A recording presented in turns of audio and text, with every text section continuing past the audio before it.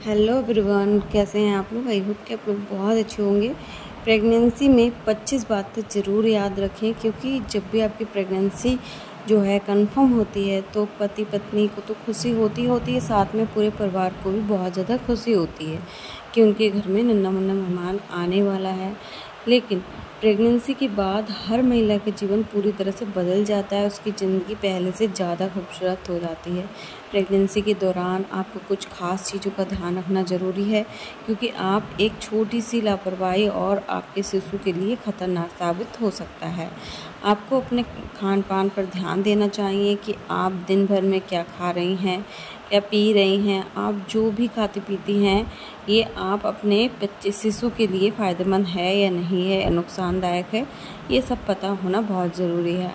आप कितने बजे सोती हैं, कितने बजे उठती हैं, सुबह में व्यायाम करती हैं या नहीं तो कितना समय तक कौन सा व्यायाम करती हैं, ये सारी डिटेल्स में बात पता होना बहुत ज़रूरी है।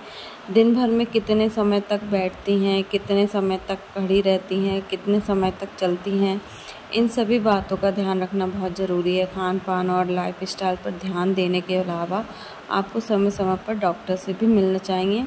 किसी तरह का कोई परेशानी होने पर उससे बात करना चाहिए, अपनी प्रेगनेंसी की जाँच करवाते रहना चाहिए, ठीक है? साथ ही साथ देखिए, आज की वीडियो में हम कुछ 25 जो हैं, सबसे ज़रूरी इंपॉर्टेंट क्वेश्चन जो हैं मतलब आपको पता चल जाएगा कि आपको कौन से काम करने हैं और कौन से नहीं करने हैं, ठीक है? सबसे पहले बात करते हैं कि पानी। पानी जो है, आपको अधिक मात्रा में पीना है, दिन भर में कम से कम तीन से चार लीटर पानी और एक से दो ग्लास जूस पी सकती हैं, ठीक है? ऐसा करने से शरीर में मौजूद विषैले पदार्थ शरीर से बाहर निकल जाते हैं। आप चाहें तो सप्ताह में एक बार नारियल पानी भी पी सकती हैं, ठीक है? दूसरा, आपको देखिए, ज़्यादा फाइबर वाली चीज़ों का सेवन करना है। प्रेगनेंसी के दौरान कब्ज की समस्या बढ़ जाती है, इसलिए पाचन क्रिया का भी ठीक होना बहुत ज़रूरी है। कोशिश करें कि आप अपने फ्रूट्स में ज़्यादा से ज़्यादा फाइबर लें, क्योंकि इससे गैस या कब्ज होने का खतरा नहीं होता है। तीसरा, हरी पत्तेदार वाली सब्ज़ियाँ खाएँ। प्रेगनेंसी के दौरान महिलाओं को अपने आहार में हरी पत्तेदार वाली सब्ज़ियाँ, जैसे कि पालक, पत्ता गोभी ब्रोकली शामिल करना चाहिए। पालक में मौजूद आयरन से प्रेगनेंसी में खून की कमी दूर होती है। इसके अलावा फलियाँ, जैसे कि बीन्स सहजन को भी खाना चाहिए। इसमें फाइबर, प्रोटीन, आयरन और कैल्शियम की मात्रा अधिक होती है। जितनी ज़रूरत प्रेगनेंसी में महिलाओं को होती है, उतनी प्रेगनेंसी बाकी लोगों को भी बहुत ज़्यादा होती है। प्रेगनेंसी में क्या खाएँ, किससे परहेज करें, ठीक है? देखिए, डेयरी प्रोडक्ट का भी सेवन कर सकती हैं। जैसे कि सभी डेयरी प्रोडक्ट जितना किसी समान व्यक्ति के लिए ज़रूरी होते हैं, उससे कई ज़्यादा प्रेग्नेंट महिलाओं के लिए भी बहुत ज़रूरी होते हैं। दूध छान दही और घी। ज़रूरी होता है कि प्रेगनेंसी के दौरान शिशु के विकास के लिए प्रोटीन और कैल्शियम की ज़रूरत होती है। इसलिए महिलाओं को अपने आहार में सभी डेयरी प्रोडक्ट को भी शामिल करना चाहिए। साथ ही साथ फल और उनके रस का सेवन करें। ताज़े फल और उनका रस भी प्रेगनेंसी में काफ़ी फ़ायदेमंद होता है। सेब, तरबूज, संतरा, नाशपाती और इनका रस को भी सेवन में लगाया जाता है। जिससे कि लेकिन कुछ फल ऐसे भी होते हैं जैसे कि पपीता, अनानास और अंगूर से परहेज करना चाहिए आपको। ये बिल्कुल भी नहीं खाना चाहिए क्योंकि इसका असर शिशु पर काफ़ी ख़राब होता है। आप सूखे मेवा खा सकती हैं। सूखे मेवा से प्रेगनेंसी में काफ़ी हद तक आहार मिलता है। आप बादाम, अखरोट, काजू को अपने आहार में शामिल कर सकते हैं। इसमें कई तरह के विटामिन कैलोरी, फाइबर और ओमेगा थ्री फैटी एसिड होता है, जिसकी ज़रूरत माँ और शिशु दोनों को होती है। इसके अलावा आप अंडे खा सकते हैं। अंडा काफ़ी पौष्टिक होता है। अंडे में प्रोटीन और choline, biotin, cholesterol, vitamin D और एंटीऑक्सीडेंट भरपूर मात्रा में होता है। इसलिए यह भी प्रेग्नेंट महिलाओं के लिए काफ़ी फ़ायदेमंद होता है। साथ ही आप साबुत अनाज का सेवन करें। साबुत अनाज जैसे कि ओट्स, भूरे चावल और किनोआ को भी अपने आहार में शामिल कर सकती हैं। इनमें भारी मात्रा में कैलोरी होती है, ये शिशु और माँ दोनों के लिए फ़ायदेमंद होता है। अगर आप अगर आप मांसाहारी हैं तो बिना बाल, बिना वसा वाला मांस खा सकती हैं। इसके अलावा देखिए, अपने मन को मुताबिक अपने मन मुताबिक आपको कोई भी जैसे दवा वगैरह का सेवन नहीं करना है।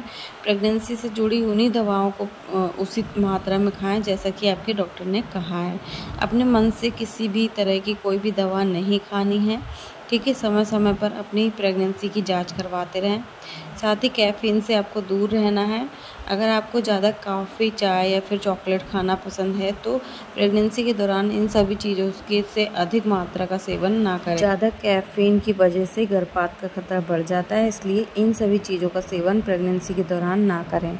इसके लगातार सेवन से जन्म के समय शिशु का वज़न कम होने की समस्या भी कई बार देखी जाती है, इसलिए प्रेगनेंसी के दौरान कैफीन का इस्तेमाल से बचना चाहिए, ज़्यादा बेहतर रहता है।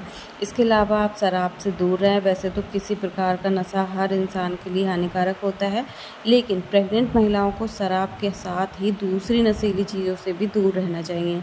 नशा करने का असर शिशु के शारीरिक और मानसिक विकास पर पड़ता है, जिसकी वजह से शिशु का पूर्ण रूप से विकास नहीं हो पाता है और कई बार गर्भपात भी हो जाता है।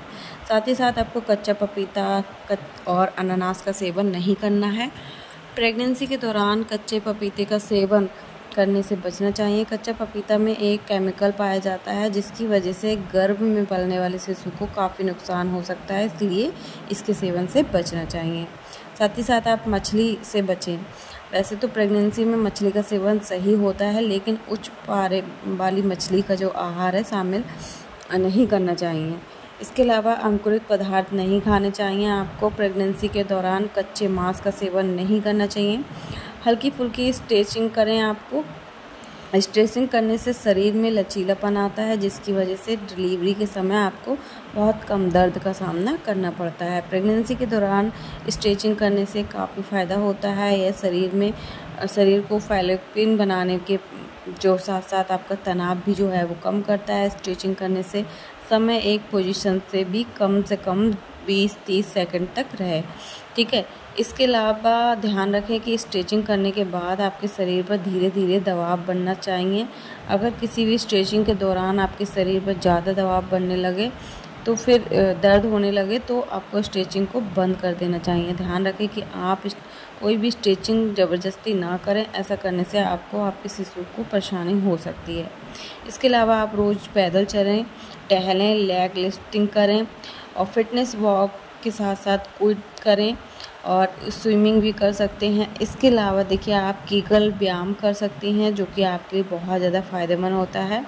कीगल व्यायाम कर सकती हैं, साथ ही साथ थायराइड और प्रेगनेंसी की जाँच कराते रहना चाहिए आपको। और सेक्स रूटीन के संबंध में डॉक्टर से बात ज़रूर करना चाहिए। प्रेगनेंसी के नौवें महीने में थोड़ा ज़्यादा सतर्क रहना चाहिए। जब तक शिशु का जन्म नहीं हो जाता, अपने डॉक्टर से संपर्क में रहें।